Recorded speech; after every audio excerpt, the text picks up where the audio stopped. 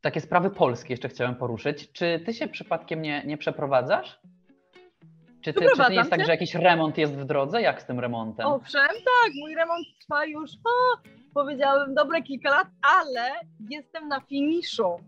Jest to dla mnie mhm. nieprawdopodobny sukces, bo mam takie poczucie, minął rok od mojego pobytu na Zanzibarze, a jestem teraz tutaj i ja mam wrażenie, że ja cały czas zmagam się dokładnie z tymi samymi problemami, z którymi byłam, no, czyli tak, jakieś tam elektryki, yy, kanalizację, to wszystko, jakby ten temat... Ja nawet nie wiem, o czym mówisz, więc podziwiam, że ty znasz już te tematy.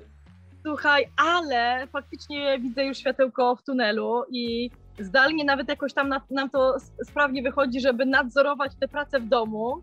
E, niestety nie, nie nadzoruję jakości tych prac, ale mam swoich tutaj doradców i osoby, które mi pomagają i, i, i chodzą tam na te mieszkanie i patrzą, czy faktycznie te y, sprawy się porusza, posuwają do przodu.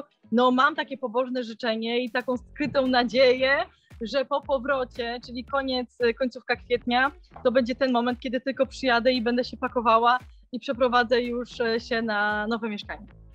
No to tego życzę. A jeszcze rozmawialiśmy wcześniej o inflacji w innym kontekście. Zauważyłaś, że podrożały te materiały budowlane i wszystkie inne rzeczy?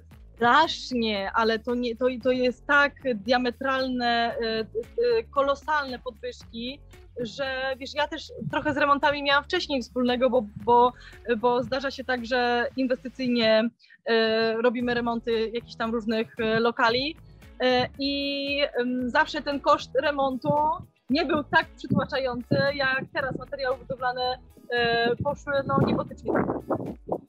A to mnie trochę tak zaskoczyłaś, bo nigdy nie słyszałem. Można powiedzieć, że Klaudia Eldursi ma lub miała drugą pracę, takie remontowanie e, właśnie lokali? To no, bez przesady, to też nie było nie wiadomo ile, ale inwestowanie w nieruchomości jest zawsze dobrym pomysłem i zawsze jak taka gdzieś tam wolna gotówka była, to z partnerem lubiliśmy, lubimy inwestować właśnie w nieruchomości.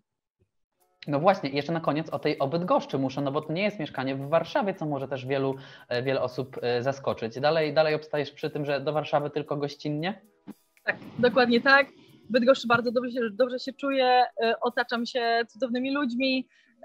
Warszawa nadal dla mnie jest tak taka, takim. Nie chcę źle mówić o ludziach z Warszawy, ale. Śmiało, dużo dawaj. Bardziej, dużo bardziej komfortowo czuję się w Bydgoszczy. Mam wrażenie, że jest tam więcej szczerości, lojalności, takiej życzliwości i prawdomówności. I tak bym mogła wymieniać. Mhm. No mam nadzieję, że we mnie i w moich kolegach, z którymi miałem dzisiaj przyjemność rozmawiać, ta życzliwość widzisz, bo e, bardzo się cieszymy na spotkanie z Tobą i wszystkiego najlepszego. Będziemy śledzić Hotel Paradise 5 od 21 lutego w TVN7, prawda? Prawda, będzie się działo, naprawdę polecam, to będzie absolutnie, no mogłabym się naprawdę pokusić, nawet pokusić o takie stwierdzenie i, i powiedzieć, że chyba mamy lidera w kwestii okay. wszystkich edycji.